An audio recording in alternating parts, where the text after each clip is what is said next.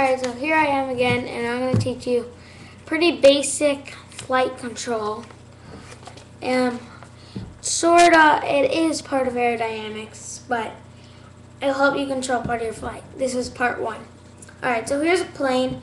It doesn't fly too far. It's just a normal plane. Um, it's slow, so it's good for one for this. Now, let's just, I'll show you how to do. Probably won't be able to see this. Okay, I it went out of the picture, but it's not the best plane ever. But it, this is, but it's perfect to show command with this. So, basically, you have this plane right here. Okay, so you want to do a barrel roll, for example. Small spinning, just you take Okay, let's say you want to turn left. Take the right wing and fold the tip, the end, very end, down a bit. Or up a bit. Like this. Uh, you can't really see. Now you can. Like that. And then look at the difference. It does a small, I might have been in the way of that camera. It does a small barrel. Okay. Now, let's think. You could even it out.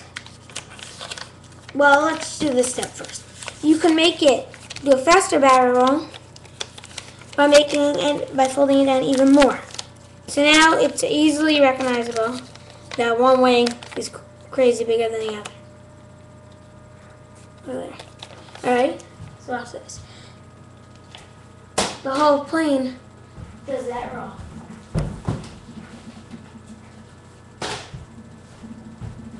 Alright.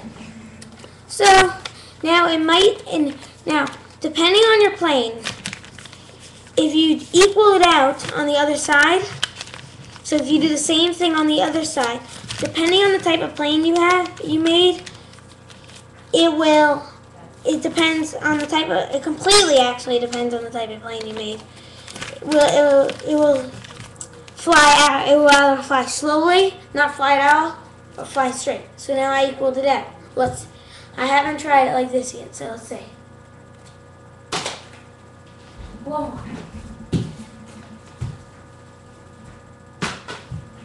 So a bit, so spinning a bit less, and that's because one is still bigger than the other. All right, now here's another pretty basic command. Not exactly a command, but this one will basically, if you have a dart, this one's already folded like that, but if you have a dart and you fold this point down, you could usually turn into a glider. Alright, now let's do another thing.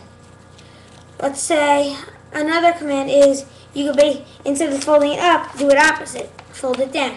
Now this one's a bit weird because I'm going to do it on once. I'm going to do it on both sides. You should do this one on both, try this one on both sides. Okay, so it's, on, it's folded, I folded this part down a bit. And let's see how it goes. Make sure that it's not folded down, the whole wing isn't folded down so it won't fly. Okay. Okay, so this one, it didn't really make much of a difference, but now, let's take away one and make the other one bigger. So I'm doing it, wait. Okay, so I took away the one on the side and made this one pretty big. Okay? It's, when you do it down, the air pushes it less, not as hard. Because when you do it up, the air, all right, a paper airplane's like this. When you throw it, the air, the design makes the air go over. Okay? When it's up, more of the air hits it. The remaining air that goes under, that hits here, makes it spin slowly. Alright. So let's see another. So now that's that's done. Let's do a bit tougher. Okay? This one might not even work on this plane. It only works on very specific planes. This is real flight control right here. Um, I learned this part from my dad. He could make, basically, by making different rips in the wing.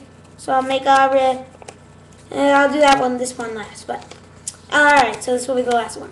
By making different rips in the wings, you can control how far or what type of turns the plane does. So it's very, this one very much depends on the plane you have. If you don't have the right plane for it, then it will probably not work. Now this one, I'm going to throw it. I made a little curve right here. On some it completely stops the plane from moving. On some, it makes it spiral so much and stops, um, it's, it, goes, it ends earlier. And on some, it works. Let's see. Okay, let's try one more time. This one's in the back, so it might, it's gonna, it would do a late. Okay, it hit the, it turned left the slightest bit. You probably didn't even notice it, but now let's do it one more on the same wing, but in the front, and now it's in the front and in the back. I made a bigger rip in the front. So, you can all see this. Alright, so show. It goes up. Depending on the spots you put them, it, it depends on the spots you put the rips. It will depend where it goes, where the plane goes, and which direction, and how it will turn. It maybe will flip, depending like a, like a stunt plane. All right, so let's do one more. One more. I'm gonna make a huge rip. Now this one will probably not, not even fly because it's basically ripping up the whole way.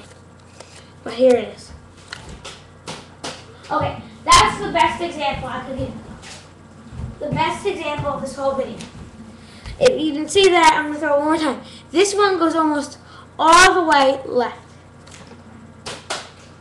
Okay, so that's some basic aerodynamics for paper airplanes, part one.